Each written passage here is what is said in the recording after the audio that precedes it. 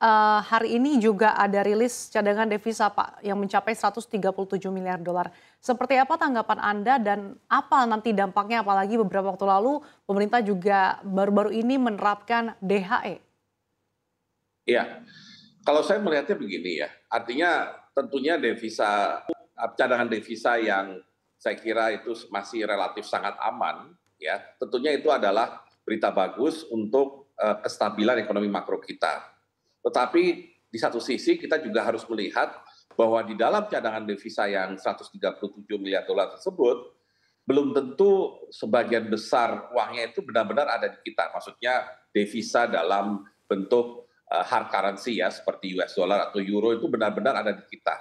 Karena di masa lalu ketika DHE belum diterapkan, maka laporan eh, devisa hasil ekspor itu cukup disampaikan atau cukup masuk ke rekening bank di Indonesia, kemudian tercatat oleh Bank Indonesia, dan kemudian dalam waktu satu hari kalau tidak salah itu sudah bisa keluar ke sistem keuangan internasional.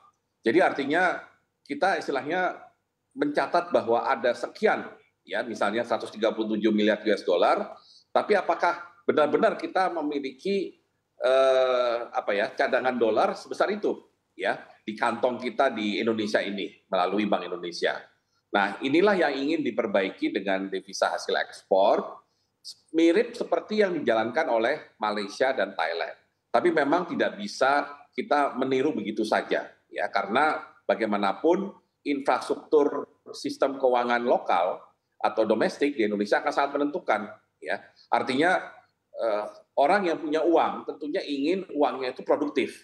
Nah, barangkali kita masih harus memperbaiki yang namanya uh, kedalaman dari sektor keuangan kita sehingga uang yang ada di Indonesia terutama misalkan dalam mata uang US dollar atau mata uang apa pun itu akan produktif, akan memberikan yield atau hasil yang memuaskan bagi yang mempunyai uang ya. Menurut saya kuncinya di situ ya. Sehingga kita bisa merasakan bahwa memang cadangan devisa yang tadi Anda katakan 137 miliar dolar atau 138 itu benar-benar bermakna mm -hmm. ya bagi uh, perputaran uang di Indonesia dan nantinya bisa berpengaruh terhadap pertumbuhan ekonomi.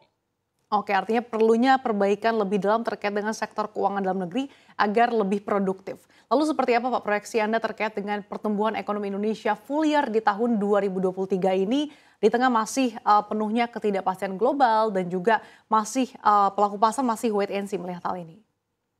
Ya, kalau saya lihat di sisi eksternal global tingkat bunga kemungkinan tidak bisa turun cepat ya karena kenaikan yang agresif terutama oleh the Fed dan juga European Central Bank sebelumnya ya. Dan inflasi ternyata istilahnya lebih sticky ya di negara-negara maju tersebut dibandingkan yang kita perkirakan. Artinya tidak begitu saja ketika tingkat bunga naik inflasi bisa langsung dikendalikan ya. Ternyata inflasinya buat standar mereka masih agak ketinggian ya. Meskipun barangkali mereka tidak menaikkan tingkat bunga lagi lebih agresif, tapi kemungkinan menurunkan dengan cepat juga sepertinya tidak ada.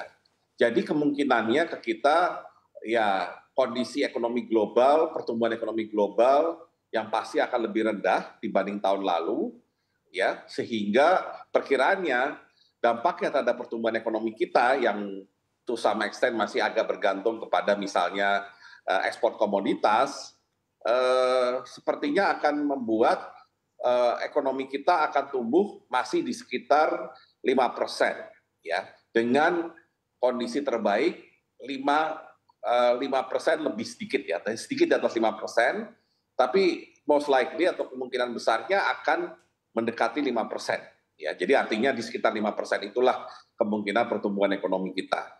Artinya sulit sekali kita berharap pertumbuhan ekonomi yang menuju 5,3 atau 5,5 seperti yang tentunya kita harapkan dari beberapa saat yang lalu.